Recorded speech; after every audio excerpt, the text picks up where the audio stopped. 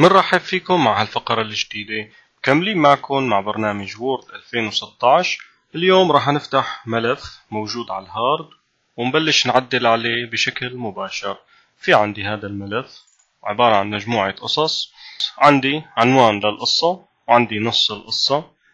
عنوان لقصة تانية نص القصة التانية وعنوان القصة الثالثة بالإضافة للنص. أول شي حابب أنا إني ميز العنوان تبع القصة باستخدام الماوس بحدد النص يلي عندي فوق. بقدر أنا بعدة طرق إني حدد النص إما إني أضغط بالماوس بنهاية النص إلى بدايته أو إني أضغط على الهامش يلي هو بجانب السطر بضغط ضغطة واحدة بيتحدد السطر عندي كلياته. طريقة تانية للتحديد طبعا أنا إذا ضغطت بالماوس على أي مكان برا بلغي تحديد النص يلي أنا محدده. طريقة تانية للتحديد بإمكاني إني أضغط ضغطين على كلمة واحدة فبتتحدد الكلمة لوحدها. إذا ضغطت ثلاث ضغطات بنفس السطر على نفس الكلمة بيتحدد السطر كلياته. فإذا ضغطين كلمة واحدة بضغط برا بلغي التحديد. واحد اثنين ثلاثة حددت السطر بشكل كامل. بعد ما حددنا السطر نقدر نغير نوع الخط شكل الخط نقدر نغير لون الخط.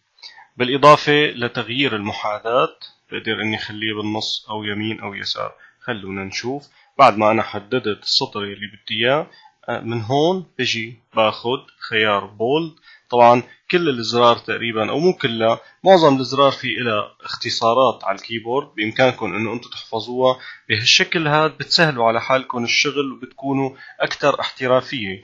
بقدر إني أنا أضغط على حرف ال B هون لحتى يصير النص عندي bold خلونا نكبر شوي يبين معنا الفرق بشكل أوضح. أو بقدر إني أضغط على Control B على الكيبورد بنلاحظ اخذنا نفس النتيجة. فإذا Control B برجع بيروح ال bold Control B مرة تانية بيرجع النص عندي bold بقدر إني خلي عنوان القصة بالنص باستخدام أزرار المحاذاة يلي شفناها بالفقرة الماضية أو إني رجعها على اليمين. لنفرض إنه أنا بأي وقت من الأوقات كبست أي كبسة غلط مثل هيك مثلا أنا محيت جزء من النص يلي عندي. بقدر أني أستخدم زر الرجوع من هون.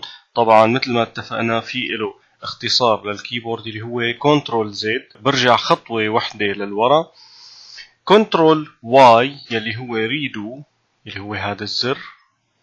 Control Y في حال أنا رجعت خطوة للورا بالغلط. يعني أنا متقصد إني أمحي هذا النص اللي أنا كان بدي أمحيه وكبست Control Z أو رجعت خطوة للوراء عن طريق الخطأ.